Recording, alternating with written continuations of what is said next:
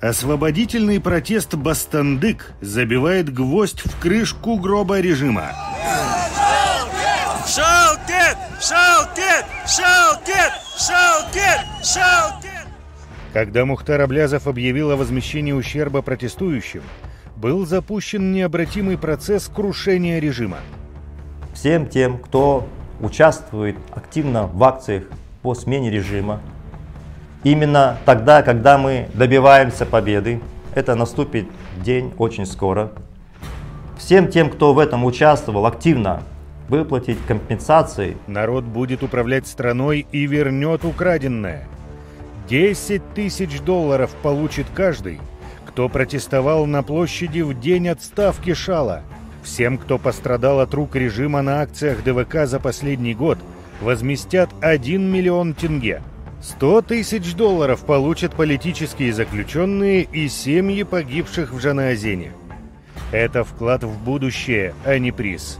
Новое правительство перераспределит национальный капитал, вложит деньги в народ и сохранит их в стране.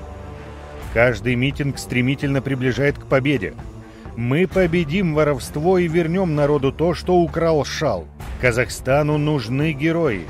Время преодолеть страх, рискнуть и выйти из тени.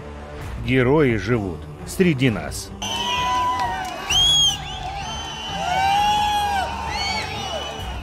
В течение двух месяцев после смены режима правительство ДВК выплатит компенсации и 10 тысяч участникам протестов. Герои протеста и возмещения правительства станут вкладом в будущее страны. Так правительство приступит к первому этапу развития Казахстана.